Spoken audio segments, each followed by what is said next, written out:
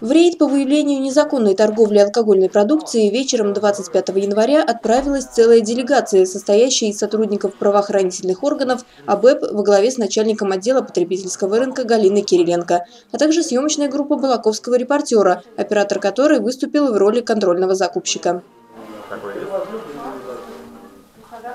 Макс.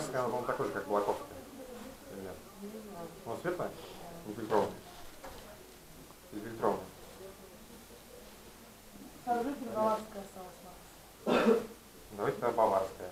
Давай. Я разговариваю сегодня не буду, сейчас хозяин. Давайте. Хозяин.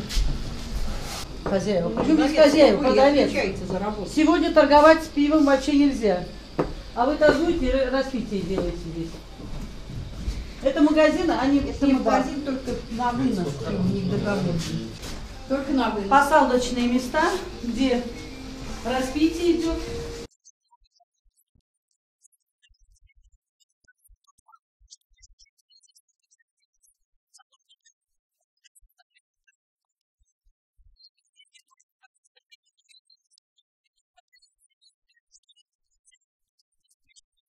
В другом магазине торговля пивом идет очень бойко. Покупатели выходят с черными пакетами, но уверяют, что там не то, о чем вы подумали.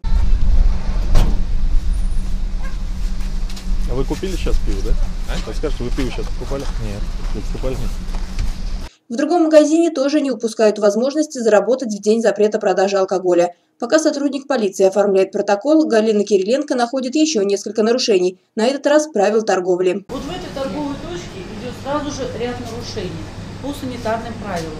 Вот смотрите, вот это получается торговый зал. В торговом зале вот складирование кек не должно быть.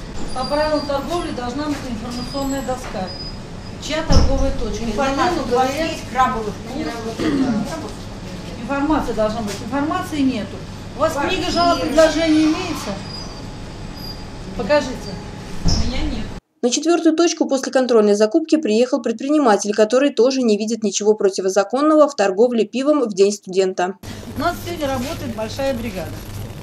Потому что сегодня Студентам не продают. Никому не продают. Причем Мы накрыли тот объект, оттуда все перебежали вот сюда. И очередь такая. Сегодня не алкоголем, не пивом. Мы за прилавок не заходим. Я знаю, что у тебя там еще э, по 100 рублей водка, наверное, есть. Не, мы не продаем. Не страдаешь. 15 проверенных торговых точек, 4 протокола. Штрафы, которые грозят нарушителям от 5 до 10 тысяч рублей.